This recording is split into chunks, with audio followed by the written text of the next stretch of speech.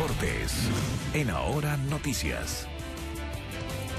Bien, vamos a comenzar a revisar las noticias del deporte junto a Fabián Morales y partimos con un hecho súper generoso. Es un acto generoso de Marcelo Bielsa, todavía estoy sorprendida. ¿Cómo estás, Fabián? ¿Cómo te va, Priscila? Buenas Bien, tardes.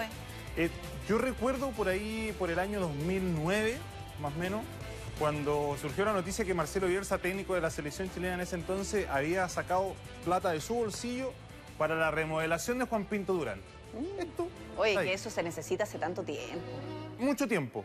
Pero resulta que ahora este hombre, ligado ampliamente con Newell's Old Boys de Rosario, Ah, que va, ya va tercero en, en este equipo de en- segunda en el división. Leeds- sí, en el Leeds United en, en Inglaterra está tercero. Eh, ha tenido una muy buena campaña, pero resulta que ahora surgió que la noticia tiene que ver que el Rosarino donó 2 millones y medio de dólares.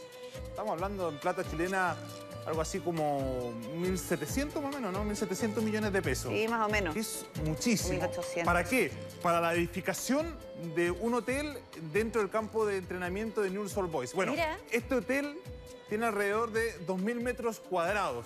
Va a tener cinco plantas, está situado entre mm, eh, los vestuarios de primera y las canchas auxiliares, ah, para, para más o menos graficar. Posee un garaje especial ah, de acceso justamente al ¿Es autobús que estamos viendo? Está en plena construcción, ¿no? Sí, está en plena construcción. Y fíjate que él no quería que eh, se revelara esto que había donado de su bolsillo de los Porque dos ¿hace cuánto más fue? millones de dólares. Hace una semana se conoció. ¿Y sabes cómo? Porque a la gente de Newell le dijeron, oye, tiene que justificar esta plata, ¿de dónde llegó? Claro. Y ahí tuvieron que decirle ya que fue donada por Marcelo Bielsa porque él siente un cariño tan grande y la identificación es mutua. Acá hay un feedback súper importante porque de hecho él llega en 1982 a dirigir las inferiores de Newell's. Asume el plantel de honor en 1990 y desde ahí hay un, hay un apego tan grande que incluso el estadio hoy de Newell's se llama Estadio Marcelo Bielsa. Así que para, para que Pero muy que merecido. Va a terminar ahí en Newell's su, su carrera profesional.